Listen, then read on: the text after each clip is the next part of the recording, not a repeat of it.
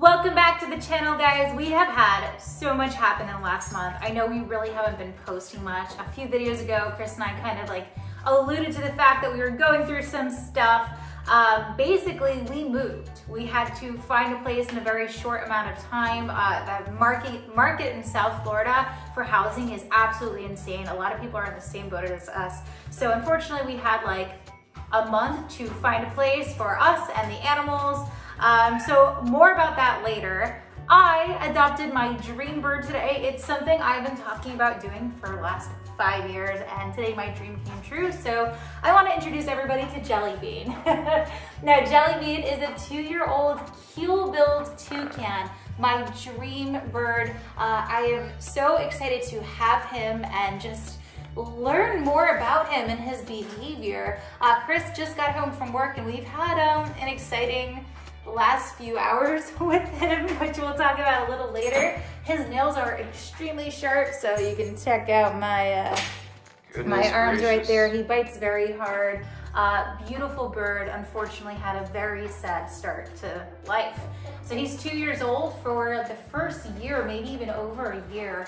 Um, there was a couple that had him, uh, two guys owned him, and they were not very nice to him. They actually cut his wings, which is horrific to do for, I mean, I don't agree with cutting any bird's wings, but especially a bird like a toucan, they are completely opposite of parrots. They don't climb, they don't use their feet to climb, they hop and they fly. So this poor guy really doesn't fly very well. Luckily it grew out, um, his wings grew out a little bit.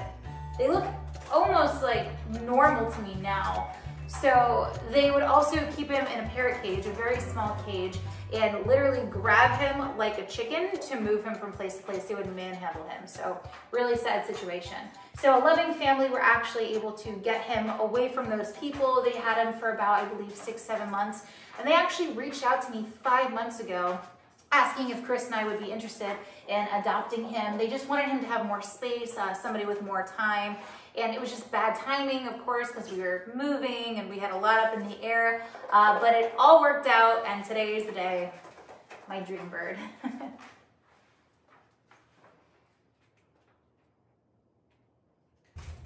So I don't have a whole lot of toucan experience, but I do have a decent amount of hornbill experience, and they are similar. He's a lot bigger, but they have similar dietary needs. Uh, they both suffer from hematomacrosis, which is iron storage in the liver, so they have to be on the Mazuri uh, low iron pellets, um, and low iron fruits and things like that. So in the wild, they eat fruits. They're also little predators. They'll eat lizards. There's some horrific videos of them eating baby birds, literally pulling them out of the nest. It's pretty horrific. Uh, for the first year of his life, he was also being fed only papaya. And a lot of people think that papaya is like the best food for toucans. They should only eat papaya. But more recently, research is showing that it's high in vitamin C, which also can lead to hematomacrosis. Sorry, that is a mouthful to say. I hope you guys understand me. Um, so we're definitely going to get him on uh, better diet, and um, he really loves blueberries, loves blueberries. Look at this paper. He poops so much, I can't believe it. That's all blueberry splattered. Within like a couple of hours. Yeah, we've had him for about five hours now, so uh, yeah, we're gonna have to change the paper daily. But take a look at this cage that I got him. That is absolutely beautiful. It's 10 feet long, five feet wide, six feet high. Crystal, still, unfortunately, can't fit in it. He's gonna have to crouch I down. I still have to bend it's over. It's perfect for me.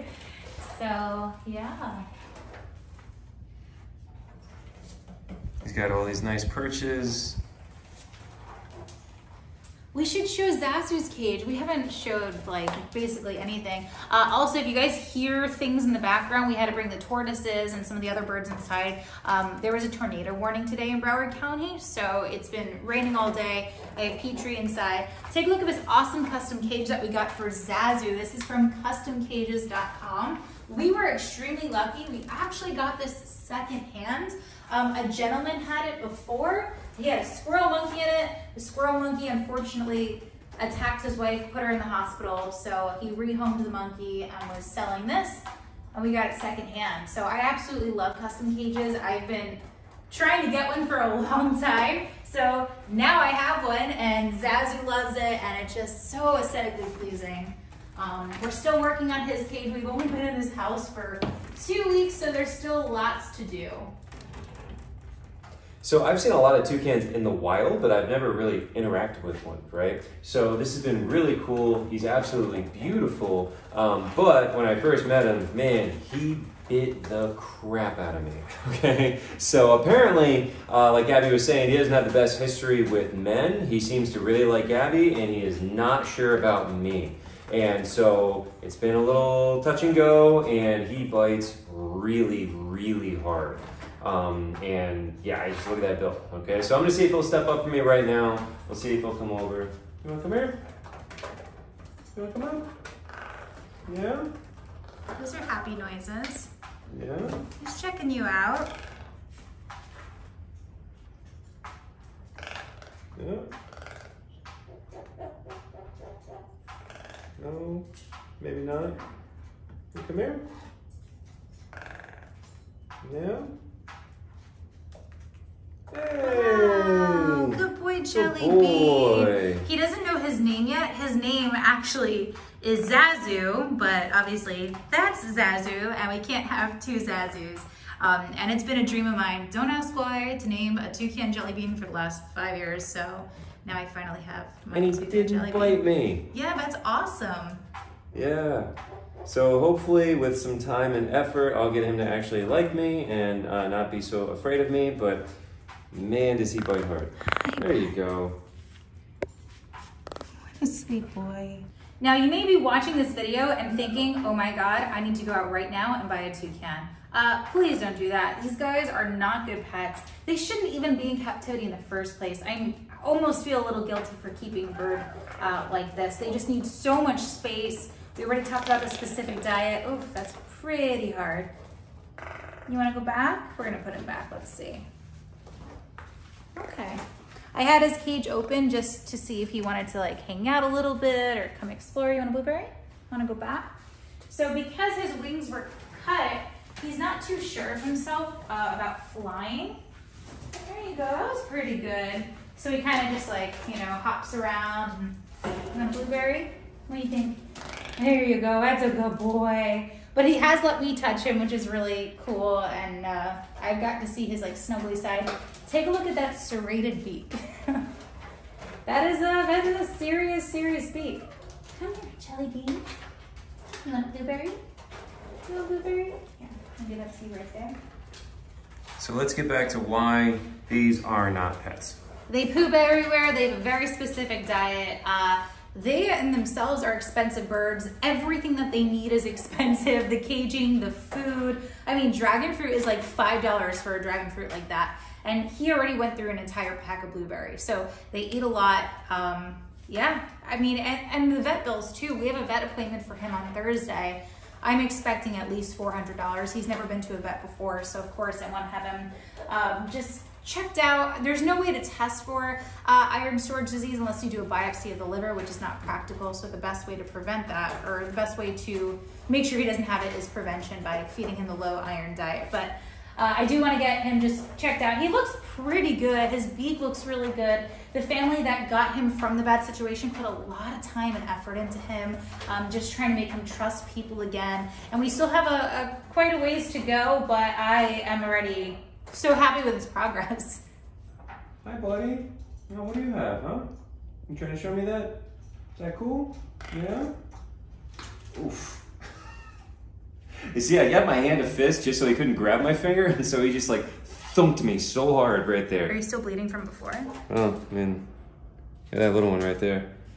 I mean, that was just like, like he's doing what Zazu does right now. He grabbed a piece and he's bringing it over to show it to me, and he wants me to kind of play with him. That's what Zazu does. So that's why I kind of put my hand up like that. But I learned from earlier to keep my hand as a fist because before I was like, oh, it's like Zazu, and I put my finger and yeah, he man, he bit so hard. So that's why I'm trying to interact with him with a fist, so he can't exactly get a hold of my finger. Here, you want a blueberry?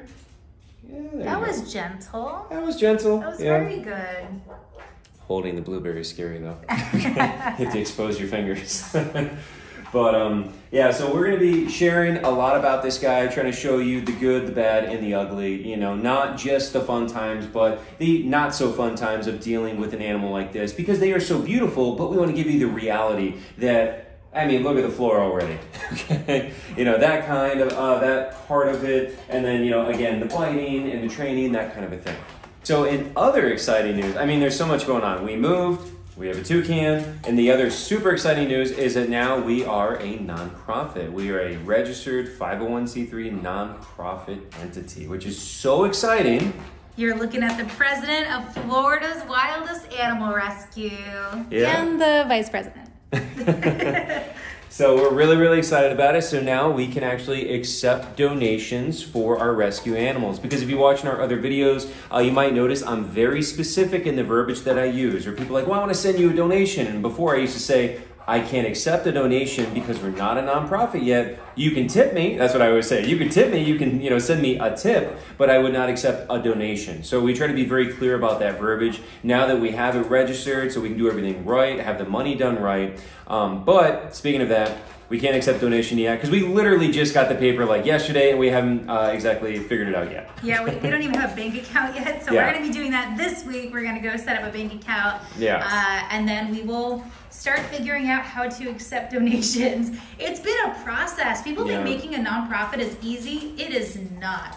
And we actually hired somebody to help us with all the paperwork, and it was still extremely confusing. So, if any of our subscribers out there run nonprofit, have any experience with this, feel free to like shoot us a DM, uh, email Chris, you know, shoot Yeah. us a, a message on Instagram. Yeah, we're, we're brand new to this, so it's going to be a process to figure it out. But we're really glad we did it because we have been spending thousands and thousands and thousands of dollars of our own personal money on running our animal rescue efforts, you know. And if you watch our videos, you see that's our life. I mean, our house is filled with rescue animals, and we pour our own personal money into saving and, and taking care of these animals. And alligators and the cockatoo at the gas station that we were trying to catch for a month. It's just been Yeah.